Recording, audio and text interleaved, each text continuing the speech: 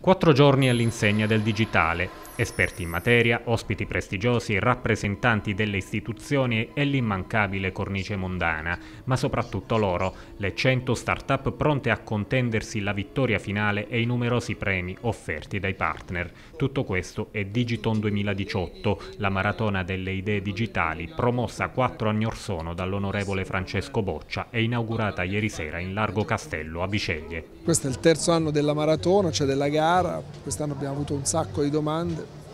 sarà una bella gara anche quest'anno, voglio dire ai ragazzi che uno vincerà, altri sei, quest'anno ci sono sette premi addirittura, quindi saranno sei premiati, ci sono tanti premi, però tutti gli altri ci consentiranno di dimostrare che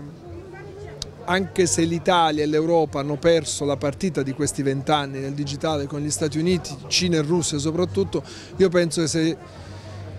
continuiamo a credere in loro, secondo me nel giro di qualche anno recuperiamo il tempo perso e Digiton può dare una mano al Paese a questo punto di vista, al di là della maratona, della competizione, dei premi e delle cose belle che ci diremo in questa sera. La serata d'apertura ha visto la partecipazione, tra gli altri, di Gianmarco Centinaio, ministro delle politiche agricole, alimentari e forestali, che si è soffermato sui temi politici di maggiore attualità. Il contest vero e proprio, invece, ha preso il via questa mattina alle vecchie segherie Mastro Totaro e proseguirà fino a domenica, giorno della premiazione. Grande attesa per Giuseppe Conte, in visita domattina agli oltre 300 giovani inventor arrivati da tutta Italia per presentare le proprie idee di business, come pure per Luigi Di Maio che domani sera salirà sul palco per parlare di sviluppo e lavoro al tempo del digitale. È la prima volta che Biceglie ospita un premier nell'esercizio delle sue funzioni.